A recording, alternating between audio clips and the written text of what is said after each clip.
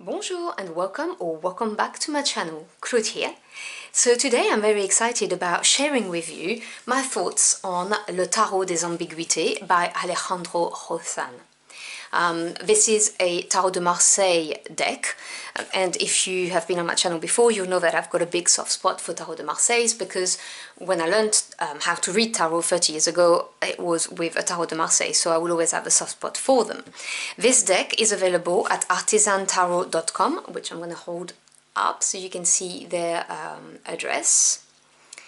And I must say this is a gem an absolute gem. So it comes with a link to a Zoom interview with Alejandro where you found out about his background um, and how he created this beautiful deck. It's very interesting um, interview um, which is led by the people from Artisan Tarot and it also comes with three um, little postcards which I'm going to show you now. They're very cute. They're like squarish and this is how they look in the back so you've got this one, you've got this one, and this one. So there's that.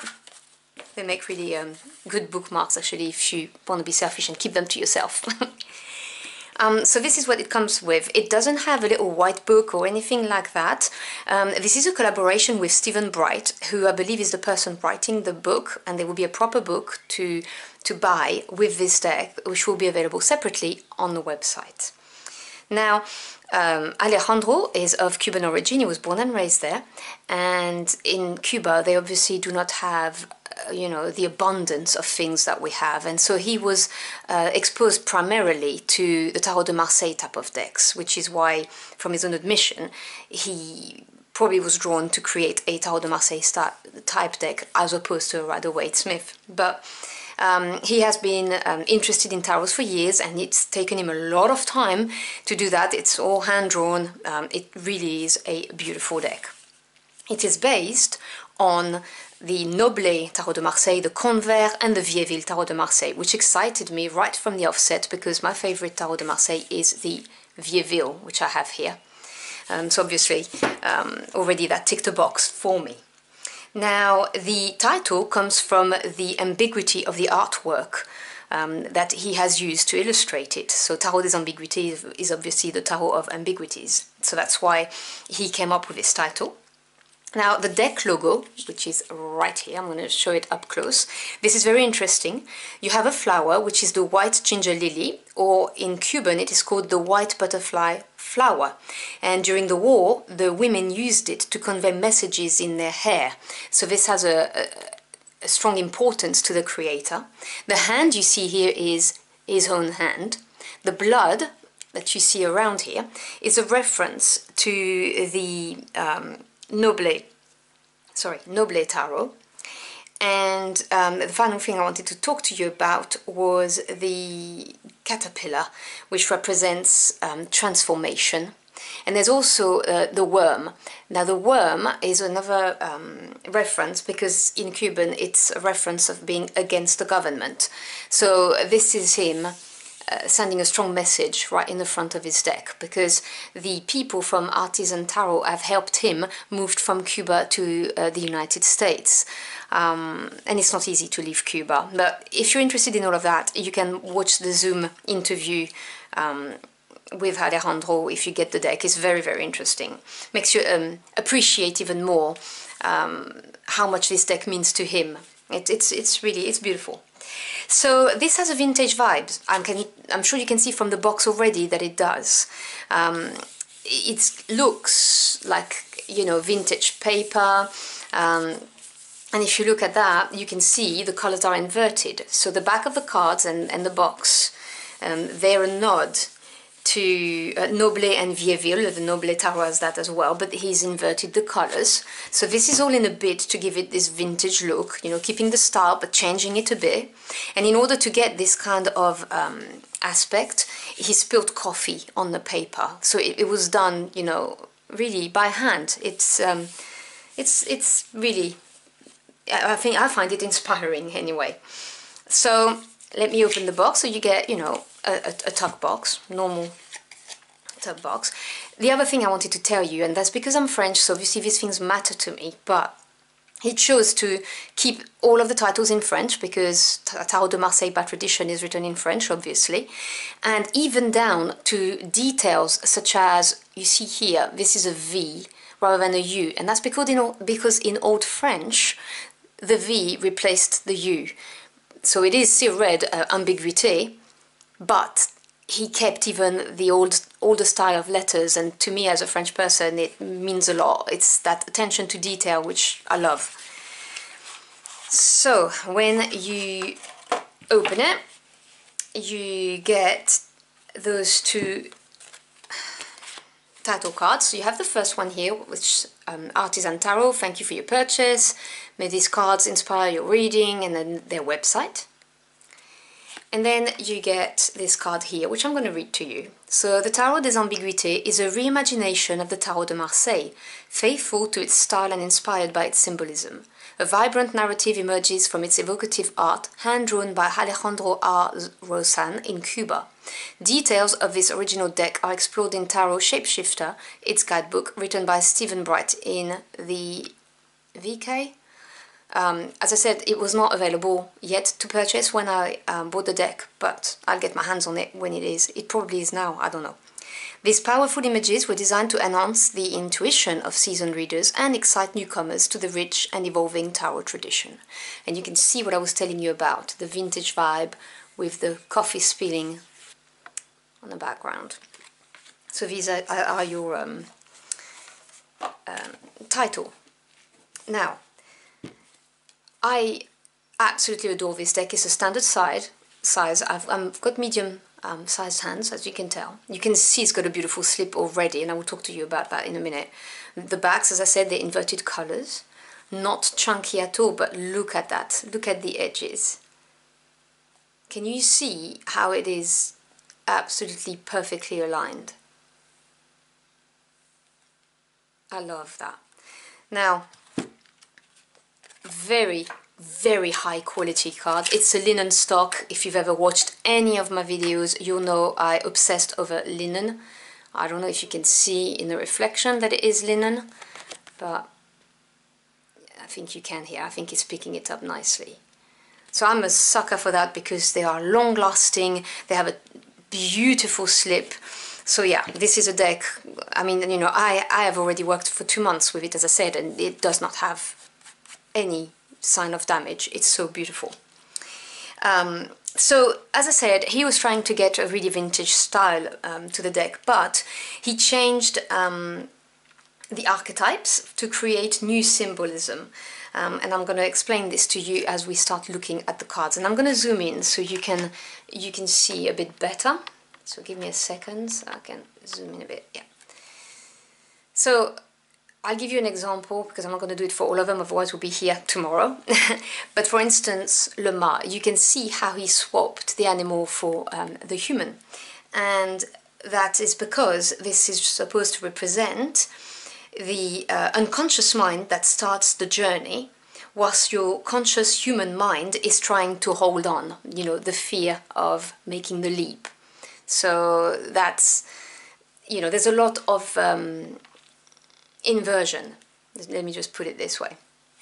So then we have Le Bateleur, which obviously is your magician, and you can see he's got three hands, three legs. There's a leg that's replacing um, the table leg. Then La Papesse, L'Impératrice, L'Empereur,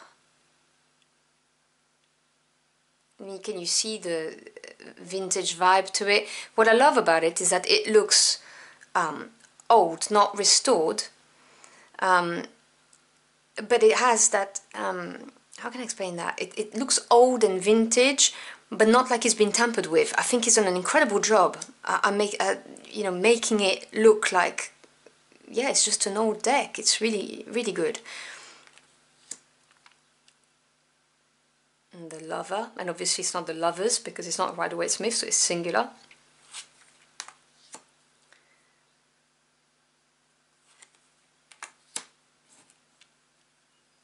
Justice cards. again, obviously for the reason it's not um, strength, it's swapped around.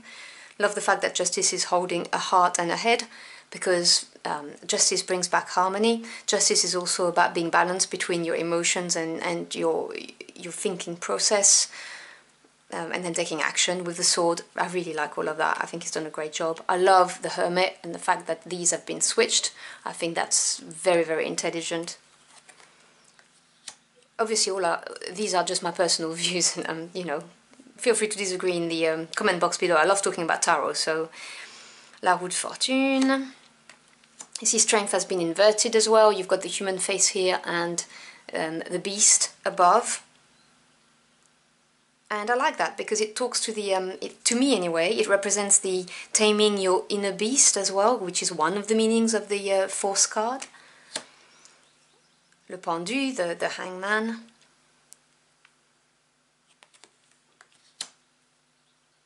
Death.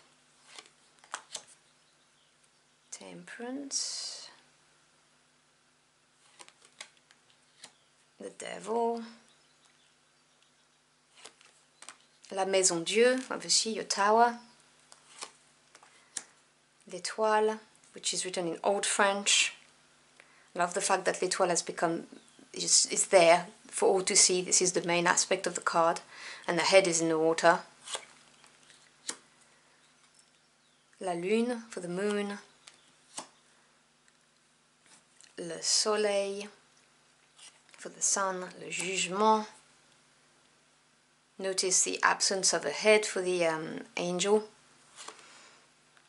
And le monde for um, the world. Now, the four suits, he has changed them a bit. So, as you can tell already, for here, this is the sword suit, which um, in French is l'épée. And the way he's dealt with that is he's um, changed it into the suit of the arms, um, which is called le bras in French. So you've got your ace there with the, you know, the crown. You recognize the symbolism. You see the sword here, but it's le bras, the arm. And if you look, you have, they look like arms all the way because you've got hands. So obviously this is your two of swords, but the hands are everywhere to um, carry out the theme of the arm and um, this is because the swords are tools, so weapons, like our hands can be tools or weapons. That's the reason why he chose to do that. So otherwise, he kept, obviously, the tradition uh, pips, and if you would like to be able to read Tarot de Marseille or Pip decks and you you feel like you are not um, confident doing it, I have a review on an amazing book. This is the only book really you need for reading all the tarot decks, and it's by Caitlin Matthews. Um, it's called Untold Tarot, and I'll give you a, a link in the description box below to check out the review because that will teach you everything you need to know. It makes it very easy. So here we have our page, which is called Valet in French, so Valet de Bras, so that's the page of arms or swords. Love the fact that he's scratching his head because the swords represents the intellect, the thoughts, the ideas. So I really like that. Then we have a cavalier de bras, which obviously is your knight. La reine de bras for the queen. And le roi de bras um, for the king, and even spelt in the Old French way, because it, normally it's an I, but it's put a Y, which is um, Old French. So then we move on to the second suit, which, as you can see just by looking at it, is the wands. And he's look he's used the um, legs for this, and it's because the wands are connected to the ground, um, to creation and walking. Also a reference to sexual energy, which is why it shows the uh, legs. So you've got the obviously two of wands, but you'll notice that they look like legs because they've got um, feet.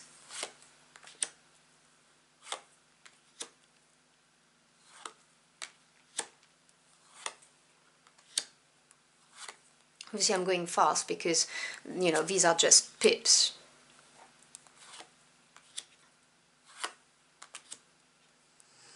Kept, you know, the griddle, it looks exactly like a Tarot de Marseille, but with enough novelty to I don't know, it, it really, it inspires me, I, I love it. So then you've got your page of wands, holding the wand the same way, but it's a leg. Your knight of wands. The queen of wands, you recognize, you know, what the queen of wands looks like normally, but with um, a leg. And notice that her leg has a shoe, and same as the um, the king, if you look at it, there's a shoe on those legs, whereas with the page and the knight you don't. This is These are the only two cards that have a shoe. Which obviously, in my mind, I'm assuming shows that you're at the top level of the, the suit. Then we move on to um, the cups. Now the cups are represented by hearts, so they are called um, le cœur in French. And this is a straight um, reference to the French playing cards because tarot has evolved from um, playing cards and you know you had the traditional suits like um, spades and diamonds and hearts so he chose hearts for that reason which as I said is cœur in French so you've got your um, two of, of hearts or le deux des cœur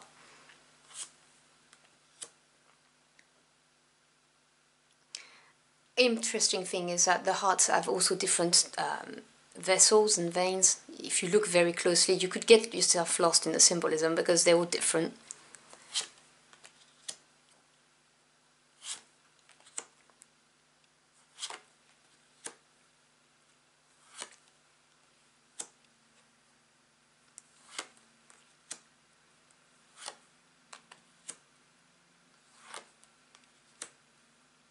And then the 10 with the, the cup across. So then we have our valet de coeur, so the page holding it in the cup, the knight, the queen, and obviously because the queen of, of um, cups always has a, um, a, a closed cup, like a trophy type of thing, the heart has been here, and I love how um, you know you've got the uh, the blood droplets which you have everywhere but it looks like it's linking the heart to the cup love the symbolism of this queen and then you can see clearly how this moves into this which is the final step you know the combination of the suit with your king then we have the uh, coins so the coins are heads and um, the reason why he's done that is because he he explained it. I'm trying to remember. It connects to the um, the drops of blood connects to the the physical, and the color is yellow for coins. That's what he said. I'm I'm trying to remember exactly why he said that. You can clearly see how this all works out. All the heads seem to be different as well coins is about also manifestation, you know, using your resources, so probably why the heads is being pragmatic. But notice all the difference. Uh, the differences, and you will recognize some of the heads come from the majors.